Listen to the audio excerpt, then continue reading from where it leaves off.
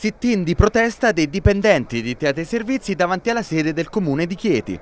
I lavoratori hanno manifestato per ottenere gli stipendi congelati da mesi e pare che occorreva la protesta per smuovere qualcosa. Sembrerebbe infatti che in mattinata siano finalmente giunti i pagamenti. Sì, che abbia provocato il corretto e normale pagamento delle retribuzioni ci sembra una cosa assolutamente normale, ma ripeto la preoccupazione sta nel fatto che questa società e la discussione su questa società nei mesi e nelle settimane passate è stato anche oggetto di discussione politica tra le diverse forze politiche e questo a noi ci preoccupa perché quando poi una società e i lavoratori potrebbero diventare anche merce di scambio rispetto a una crisi o meno, noi che facciamo sindacato e quindi ci atteniamo ai fatti, a noi preoccupa terribilmente questa cosa. Ma la questione di certo non si risolve qui, la posizione dei circa 40 dipendenti rimane a rischio.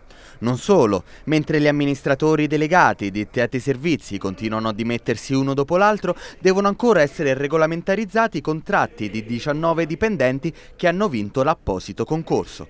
Noi chiediamo innanzitutto alla società di cui il Comune è socio unico la stabilizzazione o meglio la trasformazione dei contratti a tempo determinato a tempo indeterminato di 19 dipendenti che hanno vinto un concorso e c'è stato un accordo fra le parti e da, ormai da tempo dovevano essere trasformati questi contratti ma per una un rimpallo di responsabilità tra la Teatro Servizi e il Comune di Chieti, questo non avviene. La situazione rimarrà in bilico finché non si conoscerà il futuro dell'amministrazione teatina.